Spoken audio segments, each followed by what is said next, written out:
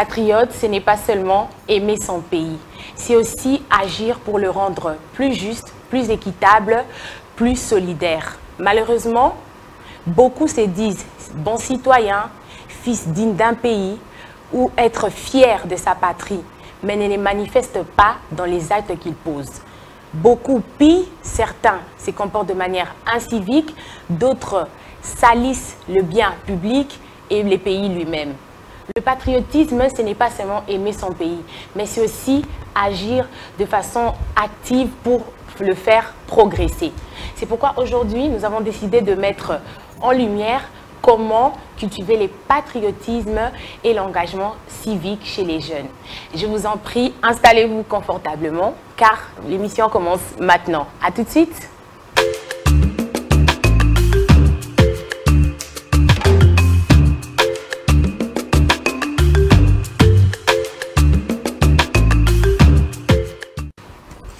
Bonjour, bonjour, bienvenue dans la Congolaise 2.0, votre rendez-vous de la semaine, moi je dis du week-end, pour euh, débattre sur les difficultés, les défis auxquels fait face la jeunesse congolaise. Un moment d'échange, de partage avec les amis des experts, des moments aussi de joie, des fous rires. Voilà, je suis Prunelle Elongo, votre présentatrice principale, toujours accompagnée de ma magnifique et belle équipe, vos animatrices préférées. Bonjour Gracias. Comment tu vas? Super, à merveille. Et toi? Oui, ça va, tout en rose, magnifique. Ah, ouais, merci beaucoup. Ok, Priska, comment tu vas? Hello, hello, Prunelle. Ça va super bien, super bien. Et toi? Oui, ça va, ça va, ça va. Alors les filles, comment, comment vous allez? Comment était votre semaine? Quoi de neuf? Bon, je commence d'abord dans comment était votre semaine et puis... ok, la semaine a été, personnellement, ma semaine Mhm. super, ça s'est bien passé. On s'est adapté aux aléas de la ville. À part Toujours. ça, tout va bien. Merci beaucoup. Priska Alors Euh, Pleine d'émotions, tu sais. Un moment le soleil, un moment la pluie. Oui, voilà, ça. et sans compter, euh, franchement, la vague de- d'angines, euh, des grippes, tout ça. C'est presque tout le monde qui est malade, qui, voilà, c'est... Oh là là, moi j'en ai attrapé même deux fois. à chaque fois, je alors. ne sais pas qui me le donne. Courage, ça Ah, ira. ça ira, bon, c'est la saison, ça va passer. Sinon, Oui. vous êtes magnifique. hein. Ah, merci. voilà, aujourd'hui, c'est toutes les toi, couleurs. hein. Merci, bon. On essaye, hein. Vraiment, aujourd'hui, je suis en accord avec euh, Franchement, le thème du plateau. Oui, oui, tu es en accord avec euh, les petites euh, boules roses de la Congolaise. Exactement. Voilà, bon, on essaye, hein. On, est, on a un peu toutes les couleurs là de l'arc-en-ciel et tout. Ça va, sinon quoi de neuf? Vous savez que moi j'aime les tongosa. Qu'est-ce que vous m'apportez comme On bonne sait, nouvelle On sait, toi les ragots, c'est. Bah oui, il faut toutes un les peu semaines, pimenter en les- avoir. Tu t'en L'é- délectes. donc, l'émission, hein. Fait, tu nous donnes un devoir chaque semaine d'aller te chercher des ragots. Mais les actualités, les réalités. Mais bon, aujourd'hui, comme ragot, je sais pas. comme ragot, comme nouveauté. Bon, vu que tu parles de ragot, mais comme actualité, disons, c'est Oui. un vécu qui est malheureusement triste. C'est la nouvelle de ce qui s'est passé à Goma. Je ne sais pas si vous êtes au Ah les- courant. Franchement, c'est partout. hein. Exactement, de ce qui se passe déjà à Goma. Oui, mais ça ça s'est beaucoup plus oui, passé, au fait, euh, très récemment, euh, au Nord Kivu, à Goma. Il y a eu malheureusement, euh, comment on appelle ça, deux projectiles qui euh, Wow. sont atterris, ou disons, tombés Oh là dans là. une école à proximité. Donc ça fait quelques dégâts. C'était très triste. Il y a eu un bilan de plusieurs blessés et trois morts qui sont sur- survenus après. Donc euh, c'était vraiment triste. Ça s'est passé le 2 février, un vendredi. Mm. Donc euh, c'est une nouvelle qui nous choque encore jusqu'à présent. Oui, oui. Ça Des choque tout le monde, ça choque la population, ça choque euh, les personnalités. En fait, ce qui choque aussi, c'est parce que ça dure vraiment longtemps. Donc, euh, tout Ça a duré, Voilà, cet affrontement avec euh, le Rwanda, les M23. On ne sait jamais qui vraiment est derrière ça, tout ça. On ne va pas entrer dans le détail parce que c'est des conflits bien Oui. plus profonds que ça. On n'entre pas dans Oui. les détails, Mais mais, on- on, constate juste et on se en rend compte que c'est très faut. choquant, Mhm. puisque ces projectiles-là ne sont pas tombés partout, genre euh, ne sont pas tombés euh, à un endroit, genre euh, un endroit Désert, où inhabité. Désert inhabité, voilà, c'est tombé à proximité d'une école ou carrément dans une école. Mhm. Donc imagine un peu une école, le cadre n'est vraiment pas adapté pour euh, des projectiles Mhm. et ça vient et ça bombarde. Il y a des élèves, il y a l'environnement autour. Donc le simple fait d'imaginer, c'est très choquant. C'est C'est très très, choquant. triste de cœur avec euh, toutes ces familles qui ont Avec sûrement perdu euh, un être cher Mhm. ou ces personnes blessées et aussi ces personnes qui depuis longtemps subissent un peu toute cette souffrance et ces massacres à l'est du pays. Vraiment de cœur avec eux, c'est très triste, c'est nos frères et sœurs qui sont en train de mourir. J'ai vu les bilans, c'est depuis, c'est plus de 20 ans, je crois que plus de 12 millions de personnes sont mortes depuis. C'est quand même beaucoup. C'est hein. beaucoup. C'est- énorme. C'est très, c'est énorme. Ouais. C'est euh, comme si par minute, je sais pas, par heure, les gens, enfin depuis 20 ans, ça fait 20 une ans, personne ou deux personnes euh, perdent la vie. Ah mais c'est triste, hein. Bon, pour des nouvelles que je voulais, c'est vraiment pas une nouvelle euh, qui fait plaisir. C'est assez Vraiment. triste, mais bon. Ça plonge un peu la République dans une ambiance assez morose, triste. Exactement. On oui, essaye, comment on peut euh, se réjouir de côté. avec eux, on Mhm. essaye de leur apporter notre aide du mieux que l'on peut. J'espère Mais que les, les, les, les- quoi, les gouvernements trouveront des solutions qu'il faut pour euh, résoudre ça. Exactement.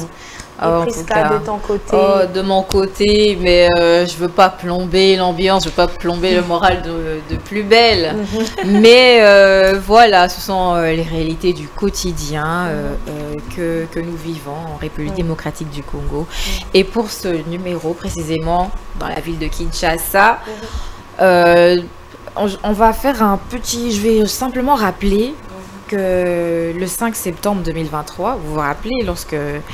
euh, lors de son premier mandat, le président Mhm. Félix-Antoine Tshisekedi a mis, euh, a lancé le, le- le programme de gratuité de l'accouchement et Ah des oui. soins des nouveau-nés. Est-ce que vous vous en rappelez Oui, oui, je me souviens, c'était parmi les choses. Comment oui. pas D'ailleurs, récemment, ça avait été mis en Comment application, non? Vers la fin de l'année, tout ça, ça fait même des scandales. On des parle grèves. quand même de la gratuité de la- de Qui va l'accouchement. pas? Comment ne Et pas s'en de souvenir. Ça, En tout cas, finalement. euh, Euh, oui, ce, ce programme a été effectif, qui a bien sûr euh, commencé dans la ville province de Kinshasa pour aller- ensuite se déployer dans les provinces à l'intérieur. Euh, cette initiative donc dans le cadre de la mise en œuvre de la couverture sanitaire universelle, universelle qui prévoit la prise en charge gratuite de voilà des accouchements et des nouveaux-nés qui euh, bon Ceci, bon, nous le reconnaissant, c'était important contre, c'est c'est important contre la lutte, en tout cas, de la mortalité, euh, de la mortalité maternelle et prénatale, parce qu'on a enregistré énormément de cas de décès lorsque la maman vient donner vie. Soit la maman, soit le bébé, soit les deux qui partaient. Pourquoi Alors il fallait trouver une solution. Mais justement, euh, le problème euh, se situait aussi au niveau euh, financier. Les personnes qui venaient là dans les n'avaient pas nécessairement tout ce qu'il fallait pour payer, en commençant par euh, les, les, les- les échographies, tu Mhm. vois, les, soins en fait qui se font avant la naissance du bébé. Déjà, tout c'est suivi, Mhm. là, les, voilà, les finances pour euh, les consultations prénatales, les échographies, la- les accouchements normaux, déjà, ça passe, mais aussi a la césarienne et les Mhm. complications qui peuvent arriver Mhm. ce n'était pas toutes les femmes qui ont la possibilité de se payer tout ce programme-là. Voilà pourquoi il a été important, Mm. en tout cas, d'avoir- de mettre en œuvre euh, la gratuité de l'accouchement et de la prise en charge des nouveaux-nés. Mais C'était- c'est assez compliqué Ouais. Moi, je là, pense que puisque. si c'est qui fait ça, c'est parce que en fait les gens, les médecins ont eu du mal à accepter cette gratuité parce qu'il y a eu des cas. Il y a eu un- Euh, une grève où les- les- euh, certains médecins n'étaient pas d'accord parce que c'est bien de dire gratuité, mais est-ce qu'on sera payé Je pense que c'est ça aussi, sûrement. Mais oui, justement, euh, c'est c'est bien. Le programme est venu, en tout cas, pour ces femmes-là qui n'avaient pas euh, les moyens, Mm. comme euh, une rédemption, un peu. Mm. Mais ça, c'était vraiment sans, sans, euh, sans compter sur la négligence qui allait suivre. Oui. la négligence qui a suivi qui a fait que cette semaine, le, le, le, le 4 février, qu'on ait enregistré un énième cas de décès Wow. par négligence Wow. d'une mère et de son enfant. Wow. Alors, le cas a été enregistré, donc c'est pas un cas isolé, hein, on le reconnaît. Donc, à, à la suite, le ministère de la Santé a publié, le, le ministère de la Santé publique, de l'hygiène et prévention a donc euh, signé ce jeudi, ce jeudi euh, une série de décisions suspendant des docteurs, médecins directeurs hein, de l'hôpital général de référence de Kinshasa et de la clinique de Ngaliema. S'en est suivi aussi la fermeture des services de l'hôpital, du centre médical Akram De Matete. Wow. Oui, parce que ce sont les hôpitaux ont été enregistrés de des plus nombreux cas de négligence lorsque le- les, les femmes ne venaient pas avec les moyens qui s'en suivaient pour avoir un accouchement correct. Mais je n'arrive pas à concevoir ça. Selon l'éthique d'un Inconcevable. médecin, euh, c'est pas l'argent qui devrait Tu être euh, la priorité. Mhm. C'est d'abord la vie, la santé de ton patient qui doit tout. compter après, à- avant tout. Exactement, Donc je hein. conçois pas ça pour des médecins en plus. On Mhm. parle pas de n'importe qui, des médecins. C'est vraiment dommage, mais moi je pense que c'est bien de dire gratuité. Ben, dans tout le domaine, c'est bien de dire gratuité, mais il faut aussi euh, vraiment, ça doit être vraiment bien ça doit être bien pris ou bien installé au Mais fait. ça prend le temps. Voilà, ça, prend le temps, tu vois. Peut-être là, mais après ça fait des dégâts, c'est ce qui est dommage. a des personnes qui meurent, surtout c'est dans, dans les, les niveaux euh, médicaux. Si c'est écouter Mhm. l'enseignement, ok, mais là c'est c'est médical, il y a des vies qui. Bon, même Voilà. l'enseignement, c'est pas à négliger. C'est pas aussi à négliger, mais là c'est une que- vie quand même. Oui, on parle d'une vie, mais également, je dirais, euh, comment on appelle ça? Ne pas euh, prendre en considération l'éducation d'un enfant, c'est également négliger toute une vie. Exactement. D'où les deux sont à prendre à considération. Ah, Il faudrait juste. l'État- euh, L'État voit tout ce qui se bien passe. Ah, oui, en tout cas, des sanctions lourdes ont Oui. été prises Les pour euh, sanctions ces aussi, fautes. trouver les mesures qu'il faut pour éviter ces genres de cas. que oui, que ces cas se répètent Voilà. en tout cas. Donc, euh, c'était ça pour aujourd'hui. D'accord, merci. Que des nouvelles tristes, franchement, qu'est-ce qui se passe? Bon, c'est vraiment dommage, mais bon, euh, j'espère qu'on aura des nouvelles le un peu plus.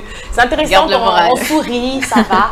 C'est triste, mais bon, ça, disons, c'est la vie, même si elle est injuste par moment, mais c'est ça. Mais vraiment de cœur avec euh, ces familles qui ont perdu, euh, leur, enfin, ces hommes qui ont perdu leur épouse, d'autres euh, leurs filles, grandes sœurs, neveux, nièces. Donc euh, voilà, et c'est vraiment très triste des nouvelles comme ça. Alors les filles, on va débuter notre émission. Voilà. Comme toujours, euh, au sommaire, euh, la citation du jour qui nous sera dite par Gracias.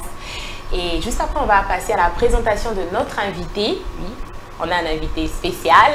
Et aussi, on passera juste après dans la table ronde. Et pour chuter, les... Ah les rubriques, j'ai pas les rubriques, la tête que vous avez, je vous ai eu. les rubriques et juste après, pour terminer, le conseil du jour. Gracias, tu... La citation du jour. Place à la citation du jour. ok, alors euh, pour la citation du jour euh, de cet épisode de la Congolaise 2.0, on s'inspire d'un homme remarquable à plusieurs casquettes. Plusieurs casquettes alors. Euh, il a été, ou encore il est, un enseignant, un avocat, un travailleur social, un homme politique. Euh, il est également le prix Nobel de la paix euh, de l'année 2009 et a été élu plusieurs fois sénateur. Ok. C'est encore vrac là, hein, c'est un peu en vrac hein, que je donne un dernier indice. Il fut le 44e président des États-Unis. Barack Obama. Ah, pas vous. Barack Obama. Voilà, on parle bien sûr de lui, du tout premier président noir Ouais, des alhamdoulilah. États-Unis, Barack Obama. Aujourd'hui, on s'inspire euh, d'une de ses citations où il dit Les jeunes sont l'avenir de notre nation et leur engagement civique est essentiel pour assurer un avenir meilleur pour tous. Je ne sais pas euh, comment vous percevez cette citation. Elle est très profonde. hein. Oui, effectivement, elle est très profonde, surtout que, comme il a dit, hein, la jeunesse, c'est l'avenir euh, d'un pays, surtout quand on s'engage, euh, enfin, l'engagement civique. Donc, c'est-à-dire quand tu t'engages d'une manière civique, comme on dit. Donc, tu, tout ce que, tout acte que tu vas poser ou ce que tu aimerais faire, c'est pour, euh, comme je l'ai dit même à mon prélancement, c'est pour apporter euh, quelque chose de plus, pour faire avancer, faire progresser son pays. Donc déjà, il faut que les jeunes doivent être conscients de, du, de, de- de ce qu'ils peuvent apporter pour leur pays. Voilà, ce qu'ils peuvent apporter de bien. euh, Exactement. Dans la citation, il euh, Mm. insiste juste sur le fait que la jeunesse étant l'avenir d'un pays, Mhm. se doit de faire preuve euh, d'engagement citoyen Mhm. pour assurer justement l'avenir de cette Ouais. nation. Et déjà, il faut que- comprendre c'est quoi ça, tout ça. Et donc, je pense qu'on va pas en dire plus. Ouais, ça, reste. du, du sujet du jour. Exactement, Voilà. d'où on va pas spoiler, on Voilà. va bientôt Merci découvrir. beaucoup pour ta citation et on en reparle à la table ronde où on va un peu plus éclairer euh, le débat sur l'engagement civique, le patriotisme et consorts. Ok, alors euh, comme j'ai dit, nous aurons un invité euh, qui va rejoindre notre plateau. Voilà, nous avons avec nous Monsieur Amin Katembo Moulumba. Bonjour Monsieur Amin. Bonjour. Comment vous allez? Super bien. Mesdames, j'espère que vous allez bien. Oui, oui, on va très bien. Merci beaucoup de nous honorer de votre présence. Je vous en prie, c'est un plaisir. Merci. Et Sinon, euh, Monsieur Amine, Monsieur Amine Katembo est euh, spécialisé dans la conception de gestion de projets, de développement avec une expérience en entrepreneuriat. Motivateur et comme il l'a dit, féministe convaincu. intéressant. Voilà avec nous un féministe convaincu, un e-forchi. Le tout porteur par une expérience professionnelle de plus de 20 ans. Donc, on a vraiment Wow. un expert avec nous dans notre plateau. Wow. Donc, toutes les questions là derrière moi, je ne vais pas vous écouter. Monsieur Amine. Aujourd'hui, il n'y a pas de débat. On écoute, on apprend. Sinon, Monsieur Amine, c'est un plaisir aussi en quelques mots pour nos chers téléspectateurs, qui, qui est Monsieur Amine Katembo euh, Voilà. Une petite présentation, un petit speech. Alors, euh, merci beaucoup déjà pour euh, votre invitation. Merci Euh, le thème, il est assez euh, intéressant. Et donc, pour revenir sur ma propre présentation, c'est en somme ce que vous venez de, de présenter dans, dans un instant. Mais euh, il y a un détail que j'aimerais peut-être ajouter, c'est que je suis aussi un acteur politique depuis euh, plus d'une dizaine d'années déjà. Oh, Et donc, euh, je, je côtoie un peu, d'un peu plus près, en fait, les réalités sociales de, de notre pays du point de vue politique et les différents engagements qu'il y a aussi bien au niveau des jeunes que des aînés. Ça tombe à pic.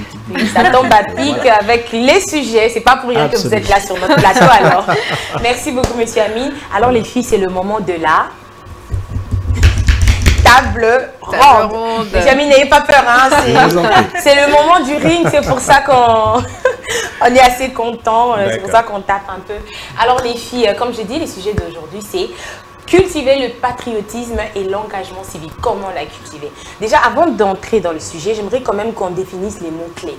Voilà, pour un peu que nos téléspectateurs puissent comprendre. hein. C'est quand même assez des gros mots. Après, chacun a sa compréhension, mais nous, on peut éclaircir un peu. Alors, on va commencer par euh, déjà les le mot patriotisme. C'est quoi le patriotisme? Je commence, bon. Personne parle. non. Même une petite On définition. Bon, d'après moi, je prends la parole, vous n'avez pas parlé. d'après moi, le patriotisme, c'est l'amour euh, qu'on a pour sa patrie. Voilà. Ou la volonté euh, de se dévouer ou de se sacrifier pour la défendre. Moi, je dirais ça comme ça. Après, euh, vous, euh. Oui. Oui, je peux prendre la parole Oui, si vous me permettez. Oui. D'ailleurs, moi, je, je pense que la, la manière la plus simple de définir le, le terme, c'est de s'inspirer de ce que disent les académiciens en la matière. Et pour ça, il faut regarder le Larousse, c'est plus simple. Regarder un, un dictionnaire, voir comment est-ce que les académiciens ont défini le mot. Et ensuite, on ira vers les spécialistes, les gens du domaine, les professionnels, comment est-ce qu'ils ont défini, pour savoir plus ou moins ce que nous, nous pourrons dire là-dessus et nous positionner. Et donc, par rapport au Larousse, par exemple, il, euh, il définit le patriotisme comme étant un attachement sentimental à sa patrie, se manifestant par la volonté de la défendre, de la promouvoir. Donc, c'est un attachement sentimental à sa patrie qui se manifeste par la volonté de la défendre et de la promouvoir. Donc, c'est comme ça que dé- définit euh, le patriotisme par le Larousse. Ah, mais c'est bien. J'avais vu cette définition aussi. Ça, c'est une bonne définition. Voilà. Et puis, Voilà. vous êtes d'accord, non? Oui, Oui. bien sûr. Voilà. Alors, euh, on passe au deuxième mot que j'ai eu, euh, l'engagement. Voilà. C'est quoi l'engagement? Alors, l'engagement, il y a beaucoup de choses qu'on peut dire à propos selon qu'on est positionné dans un domaine ou dans un autre. Mais si on reste dans le contexte de ce que nous sommes en train d'essayer de développer, l'engagement, au fait, c'est le passage à l'acte, tout simplement. Pour le comprendre de manière plus bref, c'est vraiment le passage à l'acte parce que ce qu'on souhaite, à tout point de vue, c'est non seulement que la population puisse assimiler un certain nombre de connaissances, mais qu'elle soit en mesure de passer à l'acte pour les bonnes choses. D'accord, les filles, un petit commentaire. Sinon, les experts hein. qui parlent. C'est rien à redire. C'est tellement bien défini. Franchement. euh, On est sans voix. Et le mot civique. Alors, Prisca, gracias, avant que l'expert parle. Alors, que signifie le mot civique? Voilà. Ok, civique ou civisme? Bon, on peut, par- on peut commencer par civisme et après dire euh, civique. Voilà. Bon, moi aussi, je rattache ça. Je le lis juste euh, au devoir, au devoir ou encore, euh, comment on appelle ça Euh, Le contraire de devoir. c'est quoi? Hmm, le contraire de Comment devoir. ça, le contraire de devoir? Devoir, euh, Il y a des devoir. droits euh, et des devoirs. Ah, d'accord, ok. Donc, je rattache ça aux droits et aux devoirs Mhm. que l'on a euh, face, face à un pays, ou qu'on appelle les droits qu'on a par rapport à notre pays, et également les devoirs qu'on a envers elle, en- envers euh, le pays. Donc, euh, c'est comme ça que moi, je peux appréhender civisme. Voilà. Monsieur Amine, comment Pour une fois, tu me contredis Ouais, pas. pour-. Voilà, donc euh, on, on peut, on, on- on- en fait, on peut regarder le civisme comme étant l'ensemble des valeurs qui, euh, l'ensemble des valeurs positives, je veux dire, que doit incarner un citoyen, parce que le civisme s'applique aux citoyens, et le citoyen, c'est une personne qui vit en communauté, qui vit en société, qui doit observer un certain nombre de, de- de- de limites par rapport à ses propres droits, parce que ses droits commencent là, où- comment dire, ses libertés s'arrêtent là où commencent les libertés des autres. Et donc le civisme, c'est au fait tout ce, ce comportement que doit observer un citoyen au sein d'une société donnée. Merci, monsieur Amine. Alors, pour résumer, ça c'est aussi pour faire comprendre, parce qu'on a parlé, voilà, on a défini le patriotisme, l'engagement, euh, le ci- civique ou civisme, et là maintenant, que signifie l'engagement civique? Voilà, ça aussi. Je sais que c'est quand même différent. Oui, en fait, engagement civique, on peut le comprendre de manière très simple. En fait, il s'agit simplement ici, comme nous avions dit que l'engagement c'est le passage à l'acte, c'est au fait tout ce qui sous-tend euh, l'action d'un citoyen par rapport aux valeurs positives qui lui sont dévolues par la société. C'est-à-dire, on peut prendre un exemple concret. Nous avons l'habitude de décrier dans notre capitale Kinshasa les questions en matière de salubrité publique.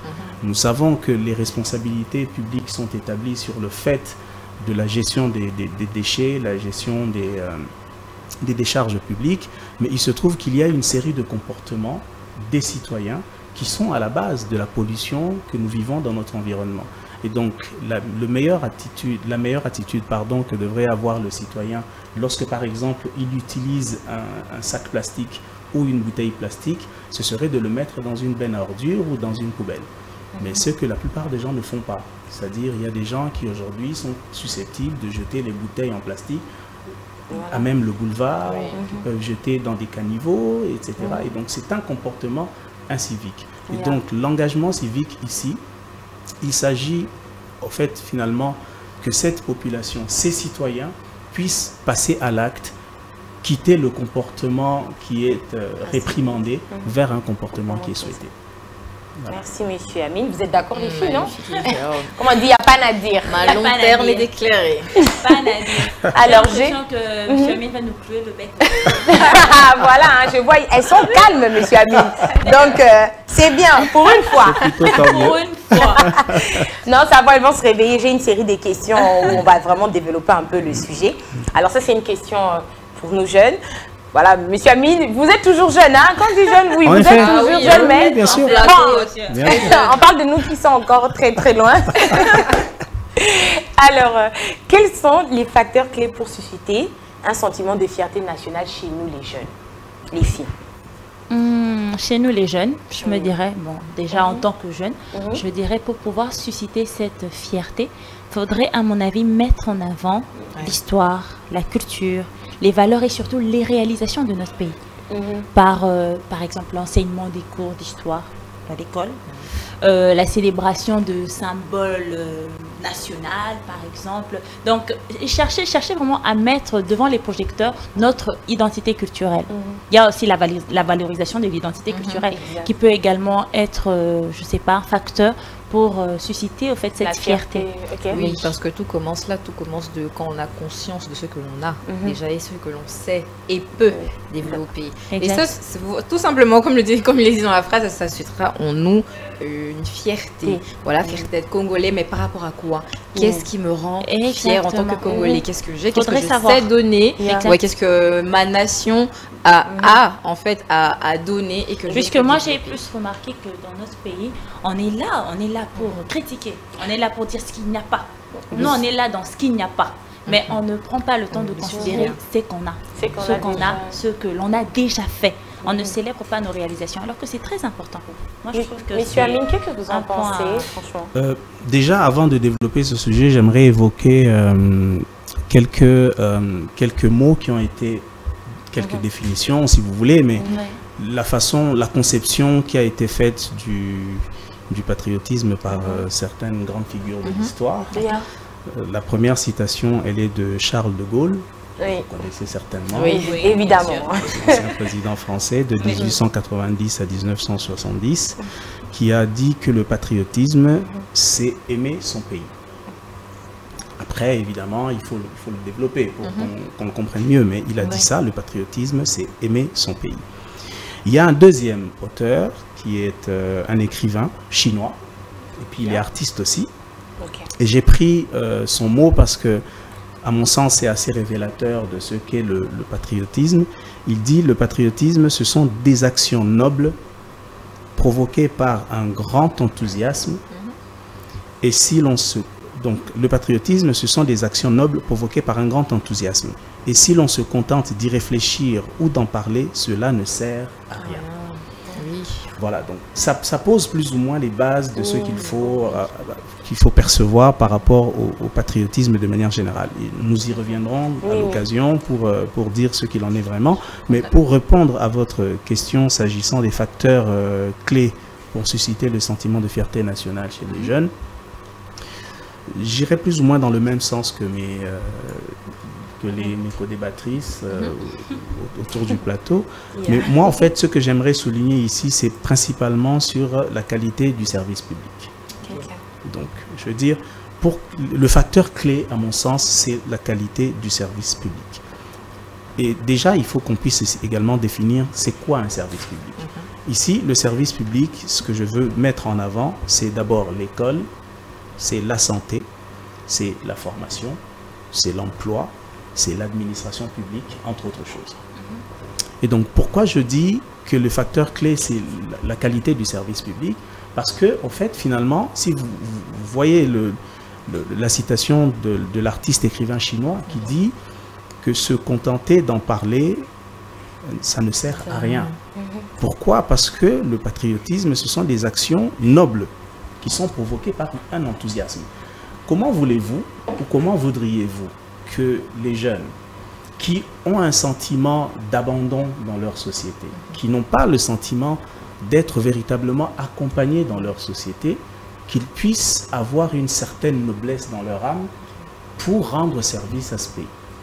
Ça devient extrêmement difficile. On a parfois l'impression que les jeunes ne s'intéressent pas, d'où le, jugement que vous venez d'établir tout à l'heure. Simplement parce que, d'ailleurs, dans, le langage politique, et nous, nous sommes en train de travailler dessus sur ce terrain-là, nous, nous, avons évalué que dans notre communauté, dans notre société aujourd'hui, il y a un taux de décrochage démocratique qui est sans cesse croissant.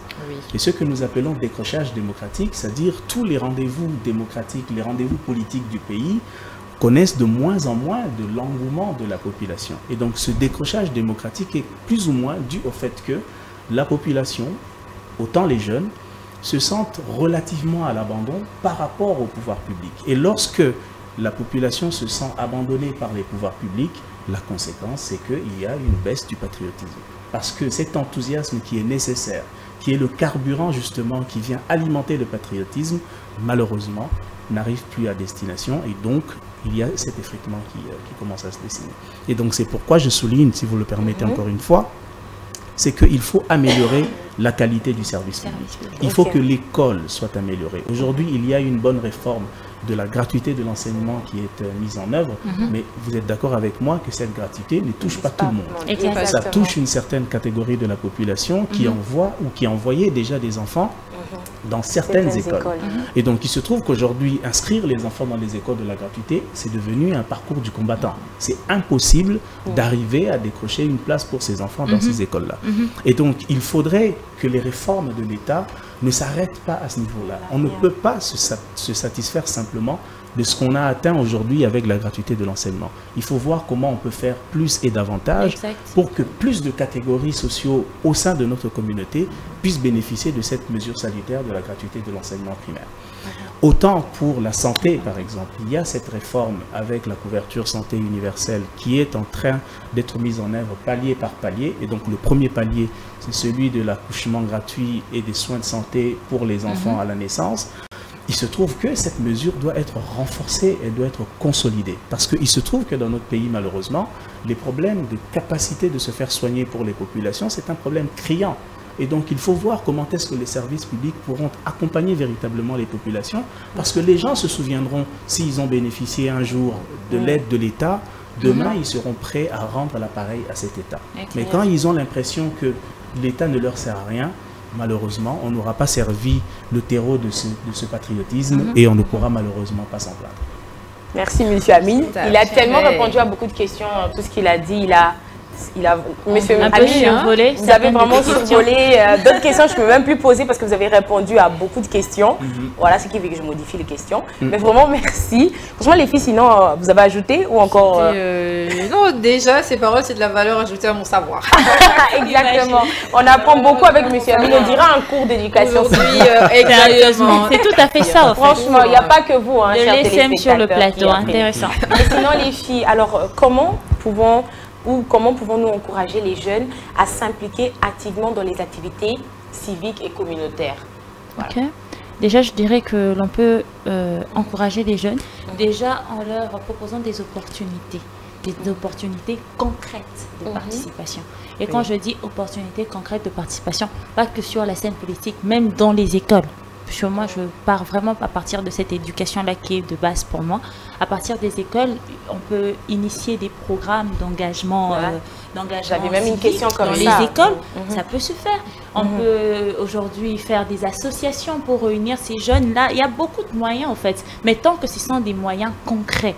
Puisque là, on insiste, parler, c'est beau. On a trop parlé. Il faut vraiment mais il faut que ça, que ça devienne palpable, réel, qu'on le voit. Et dans ce genre de programme, c'est comme un rappel d'identité. Moi, ça me rappelle un peu euh, comment agit le système éducatif euh, américain, mhm. par ah, exemple, où euh, dans chaque État, donc chaque État a droit, avant le début des enseignements, on voit que les enfants, parce que c'est vraiment maternel et primaire, mhm. apprennent déjà des textes, mhm. des textes sur, c'est comme des poèmes sur leur État et sur tous les États-Unis oui, mhm. euh, tel état, euh, voilà. Ça se trouve où, ça voilà. Voilà, et je suis fière de mon état, je suis fière d'être du Texas, par exemple, parce que mhm. ceci, cela et tout, voilà. Et je porterai haut les couleurs du Texas et mhm. au final des États-Unis. Ce sont des valeurs qui s'inculquent, qui s'apprennent et qui, euh, en fait, comme le disait M. Amine, quand la jeunesse se sent délaissée, un peu oubliée, voilà, on leur montre pas qu'ils sont importants ou qu'ils peuvent apporter quelque chose. Voilà, exactement. Et on ne leur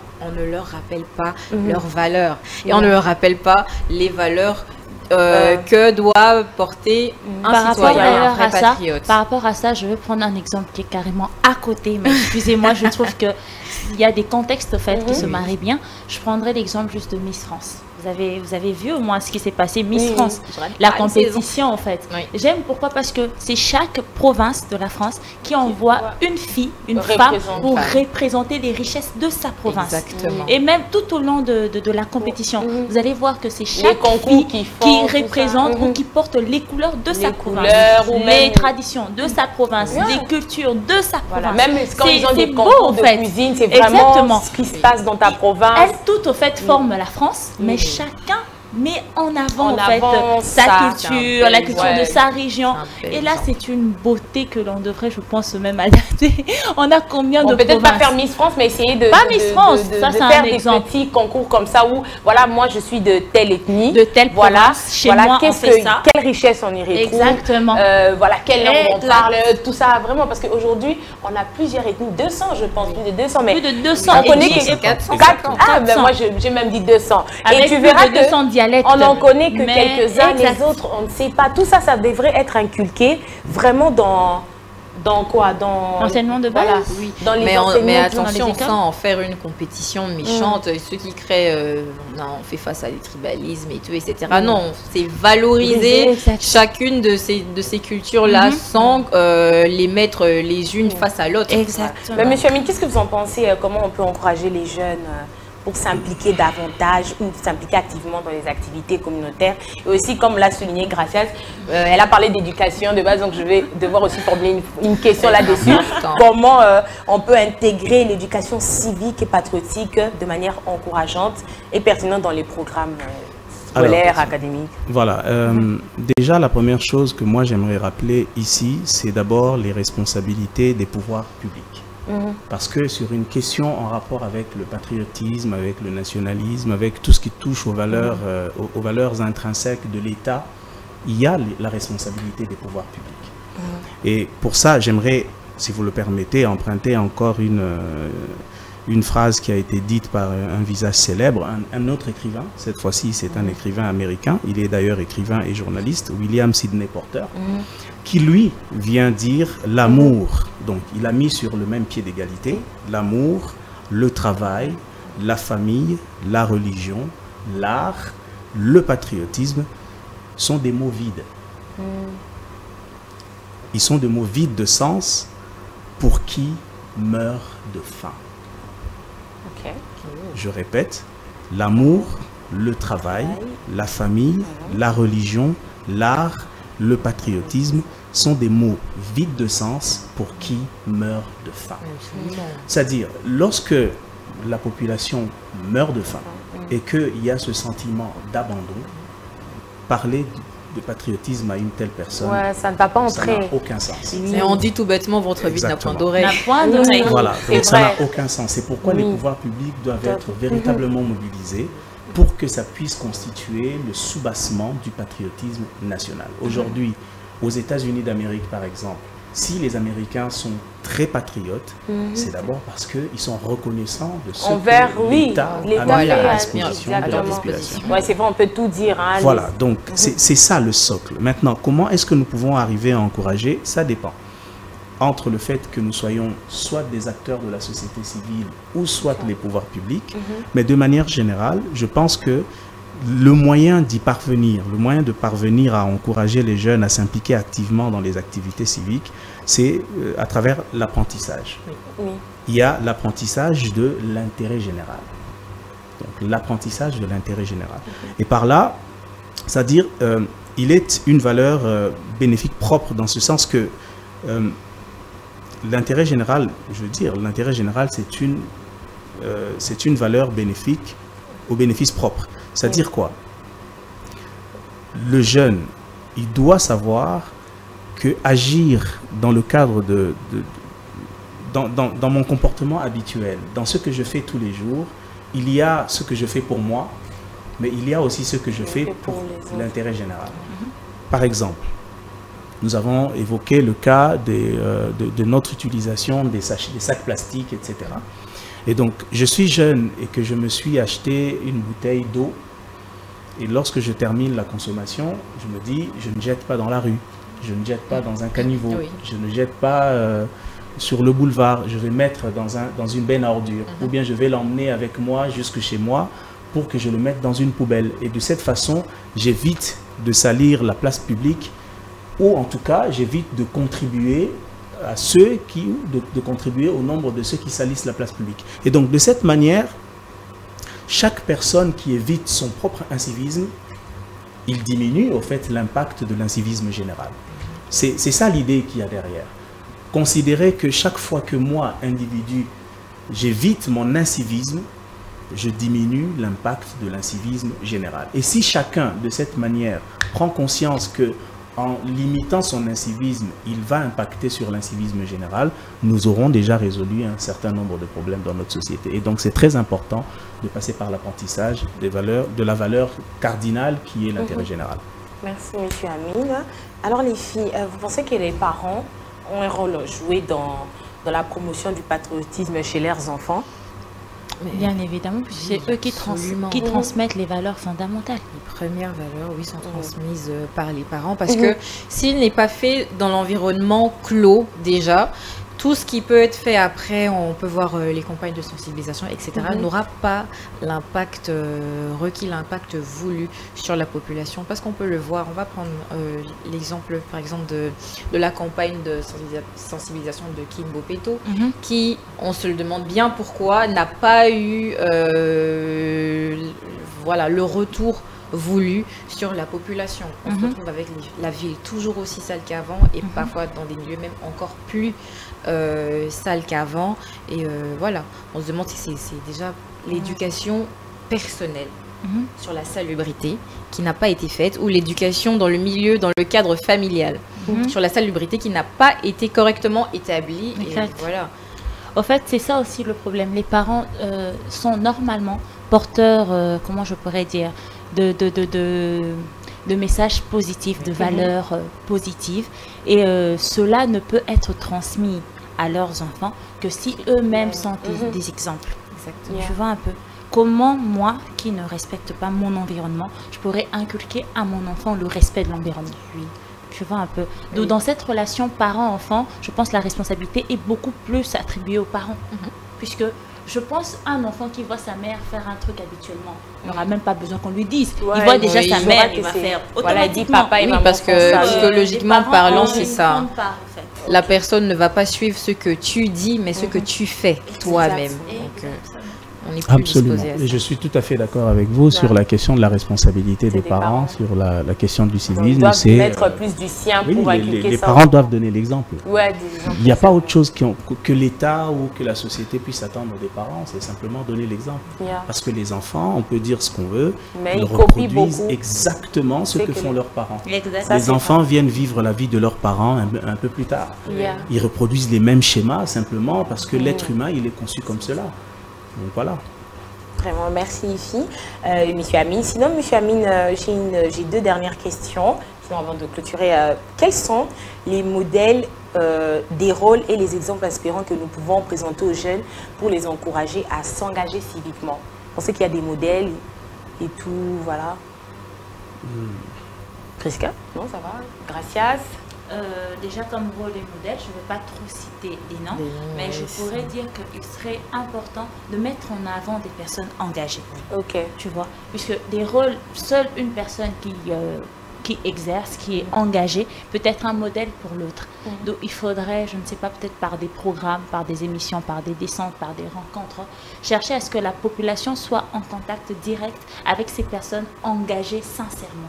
Pour pouvoir savoir qu'est-ce qu'ils ont fait, qu'est-ce qui leur motive et surtout euh, les parcours, en fait. Comment ils ont Mhm. développé cet engagement-là, en fait, Yeah. pour euh, euh, la société. Oui, mais comme on je peut voir, dans les, par exemple, dans les organisations internationales, ils ont l'habitude de nommer des ambassadeurs du changement de chaque mouvement, Ouais, que ce soit pour l'environnement, pour la vraiment. santé, Mhm. pour la paix, pour la sécurité.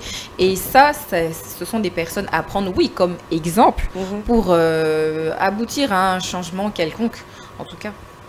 Monsieur Amine Je, suis d'accord avec vous. Seulement en partie, enfin, que je dise ça comme ça, dans, dans- dans ce sens que c'est vrai que tout le monde dit ça. Et après, euh, dans, dans notre société, par exemple, les rôles modèles que nous avons aujourd'hui, ce sont des rôles modèles assez lointains, par exemple. Ouais. Euh, quand on, on mentionne euh, comme modèle de patriotisme, on vous citera tout de suite, euh, par exemple, Simo Kimbangu, on vous citera Kiki Pampita, et puis on vous citera Patrice Emery Lumumba. Mhm. Évidemment que c'est c'est des gens que nous avons la, la, la latitude de connaître aujourd'hui et que leurs valeurs, les valeurs qu'ils avaient incarnées sont des valeurs euh, euh, qui sont euh, pérennes, mais au fond, c'est des, modèles assez lointains. On a parfois du mal à, vraiment se les représenter et même à vraiment se ressentir concerné par ce qu'ils avaient fait à cause de justement Ouais. le, le- le temps qui, Oui. qu'il y a entre nous et eux. Et le le fait aussi est que, pour moi, je, je pense, il y, a, euh, il y a encore tout à refaire en matière de rôle modèle. Nous devons recréer des rôles modèles qui sont contemporains, qui sont récents, pour permettre à ce que ça puisse véritablement inspirer les jeunes d'aujourd'hui. Dans les sociétés occidentales, par exemple, ils ont, ils ont remédié à ce problème-là d'une autre façon. Parce que l'éducation ne se fait pas que par des exemples concrets existants, mais ça peut se faire aussi par des, des- des personnages iconiques. Aux États-Unis, en France, etc., ils ont, créé, ils ont réussi à créer des personnages. Vous voyez par exemple, euh, si, si aujourd'hui vous allez dans le milieu des jeunes, euh, que ce soit en Asie, etc., vous voyez par exemple le mouvement des comics. Les comics, Oui. tout ce qu'il y a autour euh, des personnages mythiques des grands dessins Mhm. animés, etc., vous allez voir que beaucoup de jeunes s'inspirent des comics. Exactement. Et quand vous allez aux États-Unis, vous allez voir que les personnages tels que Capitaine America, Ah oui. c'est très inspirant et, et que ce personnage, il a été créé dans un contexte où on a voulu créer la suprématie américaine dans l'inconscient mondial. Il y a Rambo, le personnage de Rambo, qui est un personnage mythique qui n'a jamais existé, mais qu'on a créé de toutes pièces. Et donc, le tout, c'est dans le génie, euh, le génie de la pensée congolaise. C'est à nous de voir comment est-ce que nous pouvons recréer des rôles modèles d'aujourd'hui qui soient contemporains, qui permettent à ce que les jeunes s'identifient vraiment à eux. Parce que moi, aujourd'hui, j'ai du mal à donner l'exemple de Lumumba, par exemple, à un jeune frère frère, qui a 20 ans, 25 ans, parce que lui, il est à fond dans le digital, etc. Il avance dans des connaissances que Lumumba ne connaissait ni d'Adam ni d'Ève. Et donc, il a du mal à se, se voir Voir, reflété oui. Et puis, c'est par, pas la même par époque le personnage de. Lumumba. Donc voilà, il faut vraiment que nous arrivions à recréer les rôles modèles de notre société pour que ça puisse être une bonne inspiration pour les jeunes d'aujourd'hui. Exactement. Vraiment, je suis d'accord avec vous, Monsieur Amine. Merci. Et ça, c'est une dernière, une dernière question pour Monsieur Amine avant de clôturer euh, la table ronde. Voilà, euh, Monsieur Amine, pensez-vous que... euh, Enfin, pardon. D'après vous, quels sont le projet ou les initiatives pratiques que les jeunes peuvent entreprendre pour contribuer positivement à leur communauté et à leur pays Alors j'ai pour l'instant une, une seule idée qui, euh, qui pour moi va dans, dans le sens de, de, de ces projets-là, c'est euh, des projets de volontariat. Ok. Projets de volontariat dans le sens que il y a aujourd'hui par exemple les questions euh, de salubrité publique qui doivent être réglées.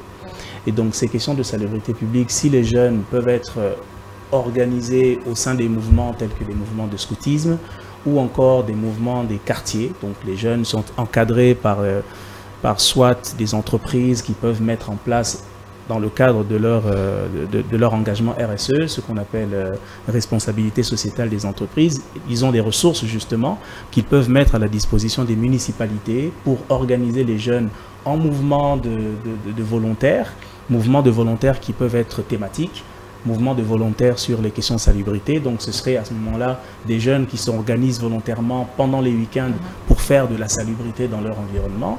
Ça peut être des mouvements euh, de volontaires pour, euh, par exemple, nettoyer des écoles, pour, euh, je ne sais pas moi, donner euh, un- une assistance particulière à des centres hospitaliers. Bref, c'est une question de communauté et notre communauté doit être soutenue d'une manière ou d'une autre par toutes les énergies existantes. Et donc elles peuvent être accompagnées par les jeunes, mais seulement si ces jeunes sont également accompagnés. Donc, voilà ce que je peux dire de manière générale. Alors, euh, merci les filles pour cette table ronde. Je crois qu'on va clôturer là, voilà, avec euh, notre sujet des comment cultiver le patriotisme et l'engagement civique chez les jeunes. Alors, euh, pour euh, continuer, vu que notre table ronde s'arrête là, merci en tout cas pour votre participation. Merci, Monsieur Amine. Alors, les filles, on va passer aux rubriques. Oui. Gracias. euh, Honneur Tu commences par ta rubrique. moi. C'est toujours moi. T'as une préférence personnelle pour moi. Faut Bon. avouer devant Priska, même si elle est là. mais moi, non, j'ai pas de préférence. Je suis comme une maman. Je vous aime vous deux, mais quand il faut Ouais, commencer, il faut commencer. sûr. T'es à ma droite, donc euh, à la droite du Seigneur. D'accord. Alors, euh, sans plus tarder, pour cet épisode de la Congolaise 2.0, je vous apporte une rubrique environnement. Donc, euh, on va rester dans l'environnement, euh, l'écologie, euh, tout ça, tout ça. Et comme sujet, je vous propose la jeunesse congolaise pour la protection de l'environnement. Nous allons en apprendre aujourd'hui comment la, la- les jeunes, comment la jeunesse aujourd'hui peut contribuer pour un environnement sain et surtout propre. Nous dirons alors que les jeunes d'aujourd'hui sont de plus en plus conscients des enjeux environnementaux et de l'urgence de protéger notre planète. Leur engagement citoyen en faveur de l'environnement se manifeste de différentes manières, reflétant euh, une prise de conscience de la jeunesse congolaise de préserver la nature pour les générations futures. La jeunesse d'aujourd'hui euh, je dirais que la conscience est éveillée. Ils se rendent compte qu'aujourd'hui, ils doivent prendre soin de cette nature, ils doivent prendre soin de leur environnement, puisque c'est dans ce, même environnement que euh, vivront, en fait, vivra les enfants et de la descendance, en fait. Donc ça devient important, ça devient un sujet de conviction pour la jeunesse, un sujet à soutenir. Alors, euh, leur engagement ou l'engagement des jeunes euh, en faveur de l'environnement se manifestent de différentes manières, reflétant, comme je l'ai dit, une prise de conscience. Euh, les exemples concrets des gestes que les jeunes Congolais peuvent adopter aujourd'hui pour contribuer à la protection de l'environnement aujourd'hui sont la sensibilisation à la préservation des forêts, Bien sûr, reboisement toujours, lorsque vous coupez, vous plantez. C'est un principe qu'on a appris depuis l'école. Et mhm. à part ça, il y a également la pratique d'une agriculture respectueuse de l'environnement. Mhm. Donc, euh, vous ne pouvez pas un peu, c'est à peu près comme quoi, si vous pêchez tous les poissons dans un lac, il va plus rester de poissons. Mhm. Donc, comment ils vont pouvoir se reproduire pour encore, euh, tu vois, à rajouter des poissons dans ce lac pour que toi, tu reviennes une fois de plus pêcher. Oui, surtout qu'ils pêchent même les bébés. en fait, les petits poissons. Exactement. Pourquoi Puisque moi, je sais, j'ai déjà vu une vidéo d'une personne qui est en train de pêcher. Il est en train de pêcher et il a pêché, je pense, euh, il avait pu reconnaître, hein, c'était un mâle, une femelle, quelque chose comme ça. Il a dû libérer le petit de ce couple-là. Et il a juste pris euh, les, oh les deux et il a laissé l'enfant. Il s'est rendu, bon, il est resté orphelin, mais au moins, on sait qu'il va se reproduire et il va pas manquer de cette espèce ah, dans la nature. Il va même pas grandir, il va finir par être mangé. bon, peut-être. C'est comme ça, en fait, la chaîne alimentaire, malheureusement. C'est triste, mais... C'est triste, mais la réalité. Mais nous, en tant qu'activistes de l'environnement, il va falloir qu'on puisse respecter, qu'on fasse une agriculture qui respecte cet environnement-là, mhm. qui respecte euh, les, les, espèces, tout comme la nature. Et troisièmement, il y a également la promotion de la gestion durable des ressources naturelles. Euh, quatrièmement, la participation à des actions de reboisement. Il y a également, cinquièmement, la promotion des énergies renouvelables renouvelable, excusez-moi les filles. Savante excuse. Et euh, dernièrement, il y a la limitation de la pollution plastique. Bon, ce sujet, c'est un sujet très sensible puisque c'est une réalité qu'on vit, hein, dans notre pays. La pollution plastique est devenue énorme.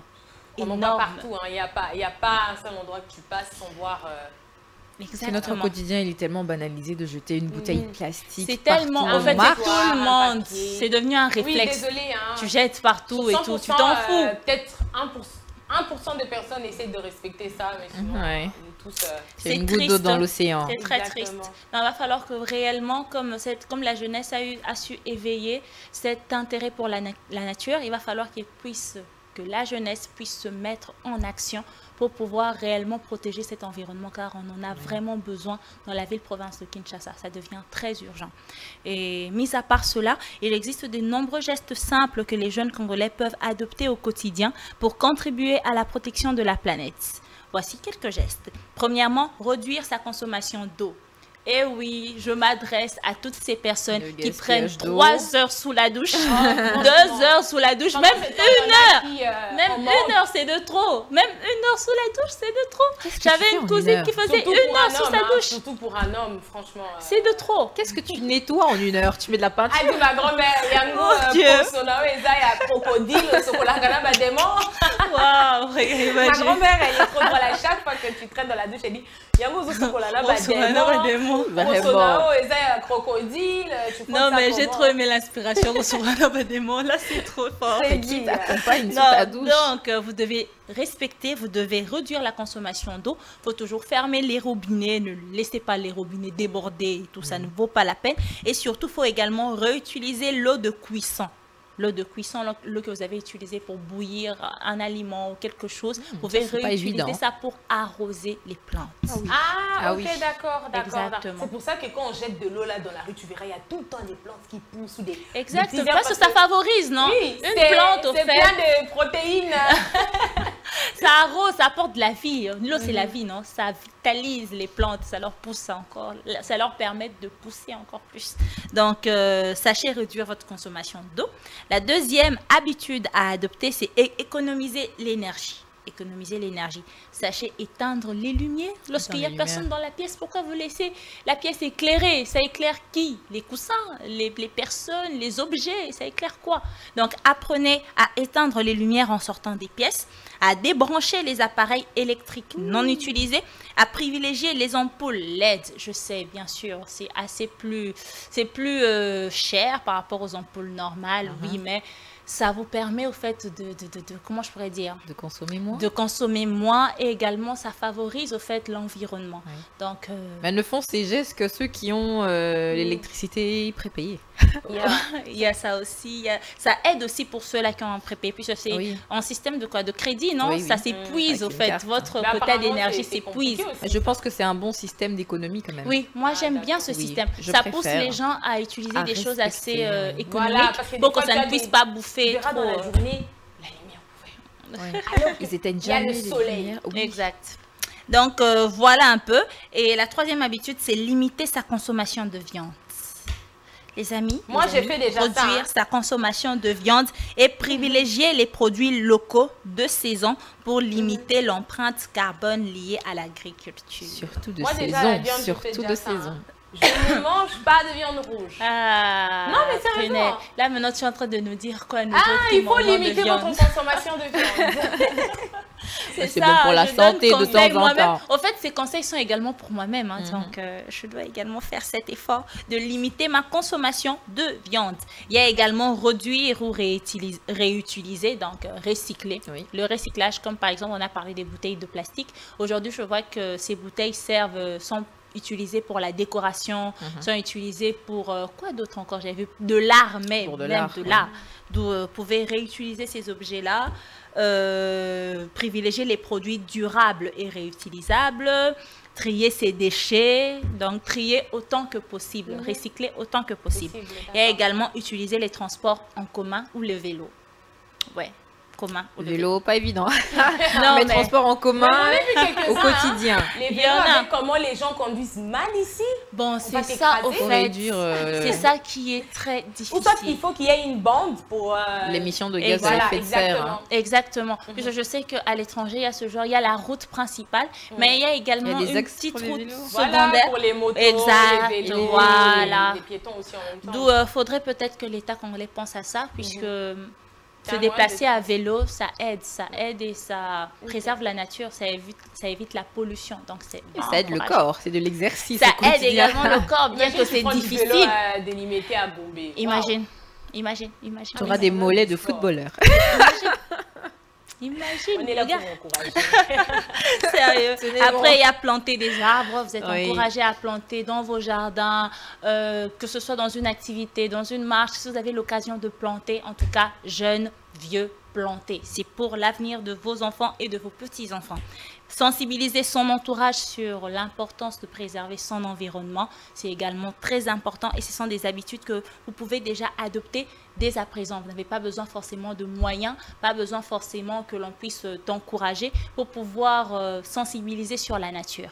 Donc euh, voici en quelques mots les petites habitudes que la jeunesse peut euh, déjà mettre en pratique pour pouvoir protéger son environnement. Merci beaucoup. Merci beaucoup, Gracias. hein, très bien, intéressant et bien. très instructif. Hein. Oui, Merci. on hein. apprend dans Voilà, les ça fait partie du patriotisme, hein, de rendre propre son Tout pays. à fait, tout à fait, tout à fait. Merci beaucoup. parfait. Alors Merci. nous allons passer à la rubrique suivante qui sera donnée par Priska.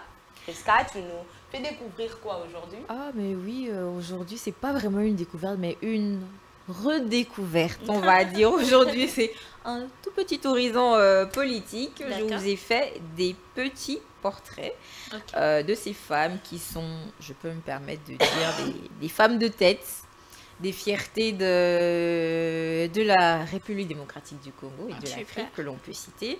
Mhm. Ah, et je, je commence donc par préciser, je commence par préciser que l'Assemblée provinciale de Kinshasa ne compte que 11,36% en termes de représentativité euh, féminine pour 44 élus euh, provinciaux proclamés provisoirement par la, co- la commission électorale indépendante. euh, seules 5 femmes, 5 femmes sur 44 candidats. Wow. 5 femmes euh, sont comptées, donc soit 11%, euh, voilà, contre 39 hommes, soit 88%. Il s'agit de... Alors ces femmes, ces 5 femmes, il s'agit de Caromone Kilala Pépito, élue députée nationale euh, et provinciale dans la commune euh, de Bumbu. Il y a Matanda Simia Norbetine, élue de Lemba. Bahati Edith, euh, élue de Limité. Il y a euh, Lumbu Kukiel Eden, élu de la commune de Makala. Et enfin, euh, Tinyama Pemba Germaine, élu de Ngaliema. Donc, euh, petite représentativité, hein, comme on le dit, mais euh, on, on remarque aussi que le taux a baissé par rapport euh, aux élections précédentes, n'est-ce pas? Exactement, si, certainement, certainement.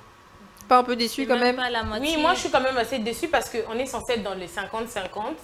Mais C'était le projet. C'est Oui, même pas normalement. 50 au fait. C'est même pas C'est pas 50, mais dans la logique. Non, non, faut en du- fait, les 50-50, je suis d'accord avec toi. Oui. Mais en fait, les 4 là, les 4 C'est pour ça que C'est j'ai dit que 11 je suis- sur C'est 88. pour ça que j'ai dit que je suis déçue parce qu'on est censé aller dans les 50-50. Et l'année passée, je crois qu'avant les, les, les élections, les- les- la réélection pardon, du président, le- l'ancien gouvernement, voilà, euh, il y avait des- y avait 30, je crois qu'ils étaient à 30% des Oui. femmes voilà, au sein de, de la politique. oui. Mais pour cette fois-ci, je suis très choquée et très déçue. Je ne sais pas ce qui s'est passé, mais franchement, pourtant, j'ai vu beaucoup de femmes postuler pour la Il députation il y en a eu beaucoup. et tout. Énormément. Il Même pour la énormément. présidence, on en a eu Énormément. trois. Oh oui. Voilà. Trois Donc, femmes euh, c'est quelque chose des femmes présidence. osent maintenant. Mais c'est très dommage et très Oui, elles difficile. sortent de l'ombre. En Voilà. fait, c'est- c'est- affligeant. Puisque vous demandez déjà de ces femmes qu'elles puissent, euh, je sais pas, se donner, se montrer, agir. Mais lorsque ces femmes agissent, au final, vous ne leur donnez pas l'opportunité d'être Voilà, la lumière. Donc ça au- sert à rien voilà. après d'affliger les femmes, de dire les femmes vous êtes là que pour parler, les femmes vous êtes là que pour la télé. Bref, c'est pas ça. Mhm. Puisque on voit qu'aujourd'hui il y a eu des femmes qui se sont lancées dans la politique, mais au final de toutes ces nombreuses femmes, il n'y a eu que quatre qui ont été retenues. Je trouve Quatre. ça vraiment Alors que très nous sommes dans une politique de 50-50. Normalement. Moi, je pense que les femmes devraient même avoir. Je pensais que cette année, ça protester. allait être Fallait qu'il y ait une 40%. marche. Oui, je- on Je aurait compris 40%. Non, non, apparemment, il y a des femmes qui se sont réunies, de ce que je sais.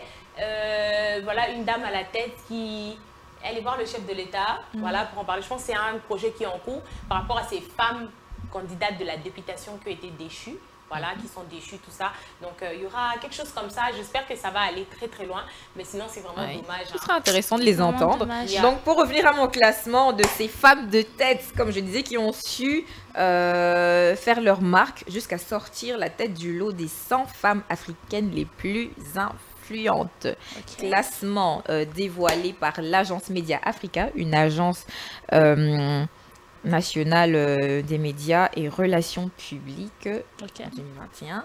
Donc, euh, alors, on nous retrouvons en première, euh, en tête de la liste, Eve Bazaïba. Je vous cite les femmes, c'était 100 femmes, je vous cite les femmes congolaises qui ont été citées. Parmi ces femmes influentes, nous avons. Eve Bazaïba, alors euh, ministre de l'Environnement et du Mhm. Développement durable. énormément. Énormément. C'est un exemple femme. fait pour toutes les femmes de la nation, je me dis. Exactement. Donc, alors euh, voilà, et euh, euh, ministre de l'Environnement et du Développement dur- durable, comme je disais. Et On a parlé d'environnement, donc j'espère que madame va prêter attention à tout ce que nous Elle venons va- de dire. Vraiment. Ah, Exactement, organiser des sensibilisations de, de, de, de Et sorte, en fait. actuellement l'unique femme, elle est- l'unique femme au poste de, de, vice-premier ministre et ministre du, du gouvernement de Samalou Kondé. Ah. Donc, oui, donc le premier mandat du, du chef de l'État. hein. Mhm. en tout cas. Euh, on va aller vite. La régie peut, peut, peut nous aider hein, pour ceux qui connaissent pas Oui, oui. F. Bazaïba. Il y en a, il y en La a régie, hein, nous aider avec les images euh, de ces dames-là. Bah, en attendant, je peux continuer à citer. Oui, évidemment, euh, on a après F. Bazaïba, on a Angèle Makombo qui est dans la catégorie est une femme politique et présidente de la Ligue démocrate, des démocrates congolaises, ancienne fonctionnaire internationale des, des Nations Unies. hein.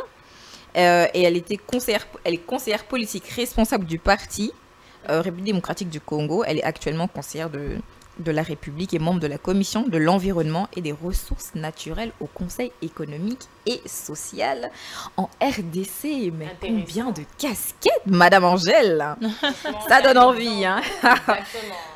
Ça donne envie. C'est vraiment un exemple euh, d'une femme qui se bat Ouais, et qui sait euh, sortir du lot. Exact. Nous avons aussi euh, Awan Diaïsek, qui, elle, c'est plutôt dans la catégorie diplomatique parce qu'elle n'est pas congolaise, mais elle est actuellement la représentante euh, résidente de l'ONU Femmes en République démocratique du Congo. Voilà pourquoi elle est citée parmi ces femmes. Et elle occupe le même poste au Libéria. Elle, est, euh, elle était coordonnatrice régionale pour l'Afrique de la prévention des crises et relèvement au centre régional du service PNUD pour l'Afrique. Pour l'Afrique, donc euh, il y avait l'Éthiopie, l'Afrique du Sud, et voilà, elle a plus de 30 ans d'expérience dans le genre de, de, de- de- voilà, de cette gouvernance, la prévention des conflits, la consolidation de la paix, et euh, la décentralisation et le processus électoral au niveau national, régional et international. Énorme ces femmes, énorme ces femmes. Alors, euh, on a la prochaine. Nous avons enfin Julienne Lousengue, qui dans la catégorie organisation de la société civile et philanthropique. Elle est militante des droits des femmes. Enfin, un grand cœur. Militante des droits des femmes et particulièrement des droits des victimes des violences sexuelles en République démocratique du Congo. Elle est présidente du conseil euh, d'administration de Sophie Padi et directrice des du Fonds des femmes congolaises, FFC en sigle.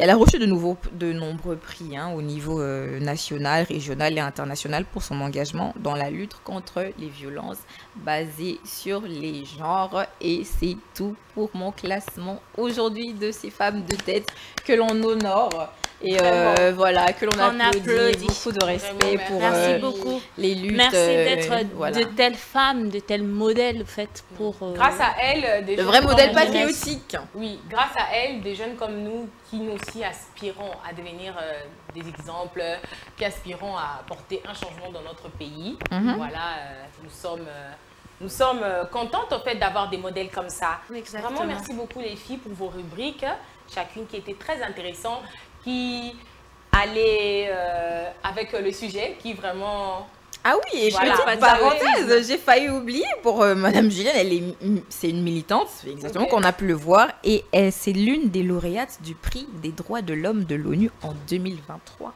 ah, d'accord. elle a gagné le prix, elle a été lauréate de- du prix des droits de l'homme en 2023 et euh, dit euh, aimerait, elle aimerait créer euh, dans son pays, notamment la République démocratique du Congo, un monde harmonieux où les hommes et les femmes se respectent, tout Oh, simplement. Quel idéal. très noble comme euh, objectif. Exactement. Merci Très beaucoup les cause. filles. Je pense que notre émission touche à sa fin, mais comme toujours, on va donner les conseils du jour. Voilà. Alors, euh, chers téléspectateurs, aujourd'hui, nous avons eu comme sujet comment cultiver les patriotismes et l'engagement civique chez les jeunes. Alors, euh, nous devons, euh, voilà, nous avons parlé de tellement de choses, mais en gros, euh, tout ce que nous avons voulu faire, c'est vous encourager, voilà, jeunes, nous aussi étant jeunes, à s'engager civiquement et aussi euh, à savoir que nous avons tous euh, une tâche très importante ou des rôles très importants à jouer dans notre société. Voilà, il faut que nous ayons une jeunesse qui s'intéresse aux enjeux sociaux et politiques. Voilà, voilà. Et tout ça peut que contribuer à l'essor d'une démocratie en santé. De plus, nous jeunes, si nous participons au développement de notre pays, voilà, ça va nous permettre aussi à nous-mêmes d'avoir une série de connaissances, des compétences, des valeurs, des motivations qui va nous permettre d'être des très bons citoyens et d'être capables et engagés. Donc, il est donc très important de cultiver le patriotisme et l'engagement civique. Voilà, grâce à ça, comme on dit, nous sommes jeunes, nous sommes l'avenir de demain pour un Congo meilleur et pour un Congo plus développé, pour le Congo que nous prospère. rêvons. Il faut que nous, les jeunes, nous puissions vraiment s'engager fermement, lutter, tout comme on luttait certains jeunes dans le passé. Voilà, aujourd'hui, c'est à nous aussi de lutter pour euh, que prochainement, dans l'avenir, les Oui. générations qui suivent puissent, euh, voilà. Oui, nous sommes fiers, les modèles actuels de l'évolution. voilà. Exactement. Exactement. Exactement. Merci beaucoup et c'est la fin de notre émission. Voilà, aujourd'hui ça touche à sa fin. Merci beaucoup pour euh, euh, vos rubriques, votre participation les filles. Merci à mes familles, notre invité. qui a beaucoup participé aussi au sujet. Et merci à vous, chers téléspectateurs, de toujours nous suivre jusqu'à la fin. Alors, euh, on s'est dit à la prochaine, mais sinon, n'hésitez pas à vous abonner dans nos réseaux sociaux, la Congolaise 2.0, et suivez-nous sur la chaîne de télévision Congo Buzz TV. Sinon, je vous dis à bientôt. Bisous.